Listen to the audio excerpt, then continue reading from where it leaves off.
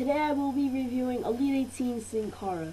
I like this figure a lot. I think the head scan is probably the worst part about it though. Because his head scan is all dark on the horns and, and in real life he's all gold over here. And comment in the comment section below because I don't know if it if there was actually gray inside of him, inside of the little horns. And if there is, then the then the elite's right. But if there isn't, then the basic's wrong. So uh, I'm not 100% sure on neither of those because I know Money in the Bank was a while ago. Uh, another thing I want to be reviewing is the coat because this coat they did a very good job on in my opinion because this looks just like the wore at Money in the Bank. So uh, I think this might be. I think this is probably a really good figure. I mean, look at the coat. I mean, it's it. I, but what I don't like is how it's so stiff. Like you can barely move it.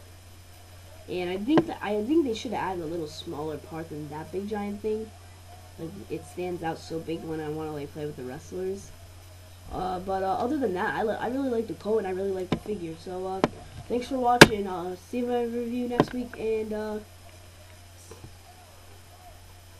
uh well, hmm.